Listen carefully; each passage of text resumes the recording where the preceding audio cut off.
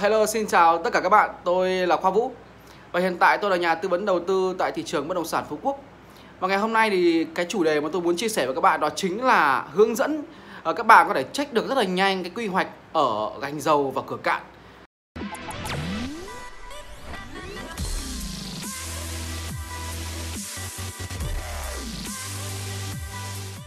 Có nghĩa là gì ạ? Có nghĩa là ngày hôm nay nếu như các bạn đang đứng ở một vị trí thuộc xã thị thị, thị xã uh, xã gành dầu hoặc là xã cửa cạn đúng không ạ? Thì các bạn có thể biết được ngay cái quy hoạch ở cái mảnh đất mà mình đang đứng. Đó là quy hoạch gì? Hoặc là đơn giản hơn các bạn có thể là ghim vào một cái vị trí cái mảnh đất của các bạn ở trên bản đồ. Và soi qua cái bản đồ quy hoạch này thì các bạn sẽ biết được là cái đất của các bạn được quy hoạch là đất gì đúng không ạ? Cái này công cụ này nó sẽ hỗ trợ rất là nhiều trong vấn đề chúng ta uh, đi mua bất động sản ở Phú Quốc đúng không ạ? Và như các bạn đã biết rằng là gì ạ? Là cái bạn có một vài cái thông tin mà khiến cho là cái ờ, khu vực mà cửa cạn và ngành dầu nó sẽ trở lên nóng trong thời gian tới. Thứ nhất là gì ạ? Là các bạn đã biết rằng là cái cái được thông tin đầu tiên là cái bãi rác, đúng không? cái bãi rác ở bãi ông lang, đúng không ạ? Ở xã cửa dương, đúng không ạ? Trên ờ, khi mà chúng ta đến cửa cạn thì chúng ta phải đi qua cái bãi rác này, đúng không ạ? Thì đương nhiên là cái bãi rác này nó đã bị đóng cửa rồi và đang được đốt. Thì cụ thể là cuối năm nay là nó sẽ đốt xong cái thứ hai nữa là gì ạ? Là cái thông tin mà hội đồng nhân dân của kiên giang đúng không ạ? Phê duyệt là cái ờ, dự án mở rộng đường ở dương đông cửa cạn ngành dầu đúng không ạ? Đấy là thông tin thứ hai.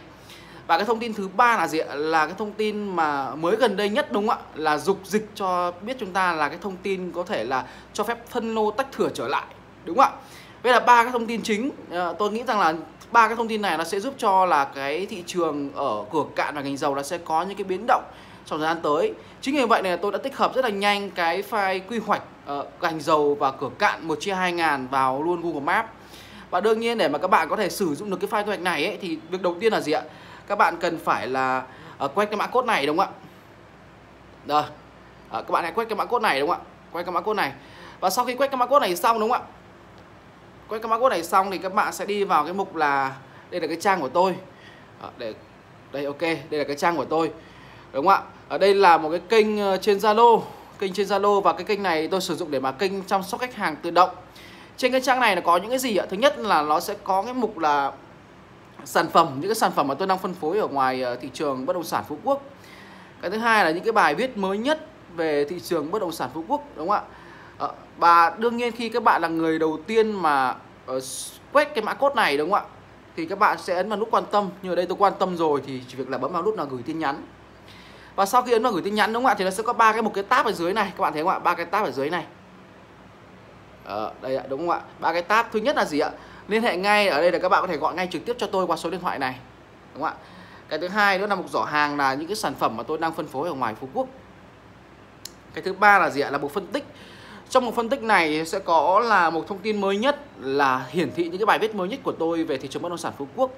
Ờ, và một vài những cái thông tin mà liên quan đến thị trường bất động sản mà nó có ảnh hưởng trực tiếp đến thị trường bất động sản luôn. Ờ, cái thứ hai nữa là dự án đáng đầu tư. Thì ở một dự án đáng đầu tư này là tôi sẽ có những cái bài phân tích về những cái dự án ở, ở ngoài Phú Quốc. Ờ. Tiếp tục nữa là gì ạ? Ok tiếp tục nữa là gì ạ? À, cái mục mà phân tích thị trường đúng không ạ? Mục bản đồ quy hoạch và file. Thì cái bản cái mục mà bản đồ quy hoạch và file ấy, nó là cái mục rất là quan trọng. Khi các bạn đấm ở đây đúng không ạ? Thì nó hiển thị ra, thứ nhất là bản đồ quy hoạch là 6333 Phú Quốc. Thứ hai là bản đồ quy hoạch một chia hai ngàn, khu dân cư Bắc và Nam Bãi Trường. Nếu như các bạn đang có ý muốn mua, đúng không ạ? Muốn mua bất động sản ở khu vực Bãi Trường mà thuộc dạng là đất của dân, đúng không ạ? Thì lên vào trong cái bản đồ quy hoạch này để check, đúng không ạ? Cái thứ hai đó là quy hoạch sử dụng đất Dương Đông. Cái thứ ba là gì ạ? Là quy hoạch gành dầu cửa cạn một chia hai ngàn. Thì cái chủ đề của video ngày hôm nay tôi nói chính là cái cái file quy hoạch này. Chúng ta chấn vào đây và sau khi các bạn ấn vào đây xong đúng không ạ? Thì các bạn chỉ ấn vào nút chia sẻ thôi. Và ấn vào mục là gì ạ? Mở bằng Safari.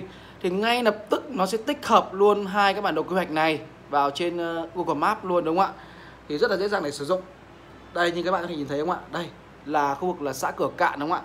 Ờ, chỉ việc các bạn ấn vào từng cái vị trí ở trên cái mảnh đất này đúng không ạ? Hoặc là ở cái nơi vị trí các bạn đang đứng các bạn chỉ nhấn vào đây thôi.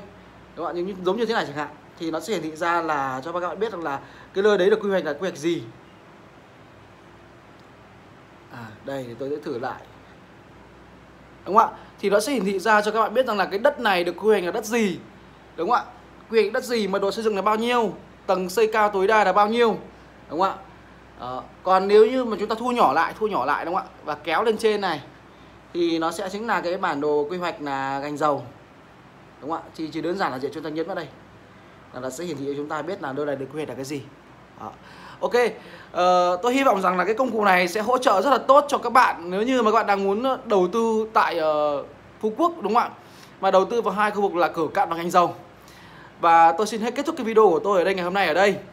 Và nếu như các bạn muốn ờ, trao đổi nhiều hơn với tôi thì có thể là liên hệ với tôi qua số điện thoại là 09127 46538. Xin chào và hẹn gặp lại.